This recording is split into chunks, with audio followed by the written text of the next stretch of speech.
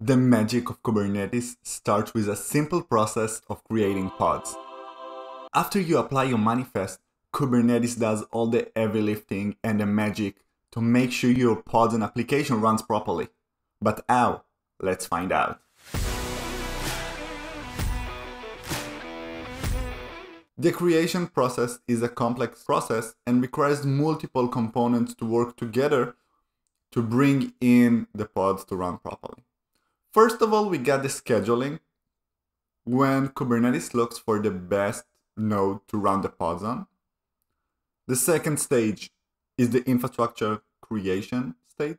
When Kubernetes creates and bring in a lot of the components the containers need to run with, for example, volume, file systems. After that, Kubernetes creates the container themselves, start them, make them running, and wait for them to be ready. And after they are ready, everything is perfect. So let's break down each one of the stages and make sure that we understand each stage properly. The first step is the scheduling step, when Kubernetes looks on all of the nodes and picks the best node to run our pod on.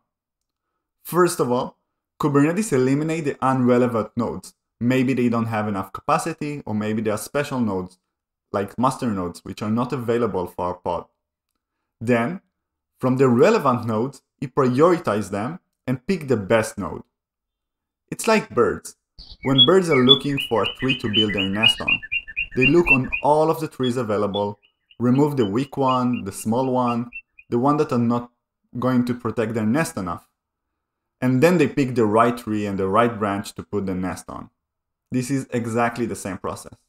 But what happens when Kubernetes fail to find a node for your pod? Then the pod will be on pending state, while a failed scheduling event will be issued to the pod. And in the failed scheduling event, you will find all the relevant information to understand why it failed. For example, insufficient memory with any one of the nodes within the cluster. This is the time when the autoscaler comes in. The autoscaler should spawn a new node with enough memory for your pod.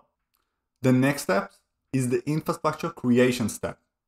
After Kubernetes finds the right node to run the pod, he schedules the pod on that node. Then the kubelet in the node figure out, okay, I need to run this pod. And the kubelet creates the full infrastructure for that pod.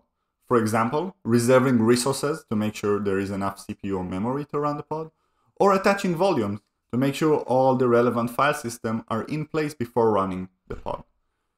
It's like when birds are actually building the nest they always like collecting the piece of wood, building the nest before they are going to put the eggs inside the nest.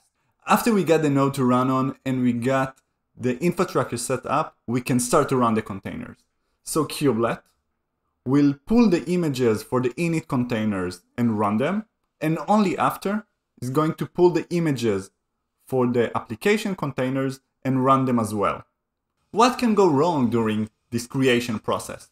So, first of all, in the infrastructure creation process, some of the things may not exist. For example, we reference to a config map, which does not exist within the cluster. It's going to cause a create config error.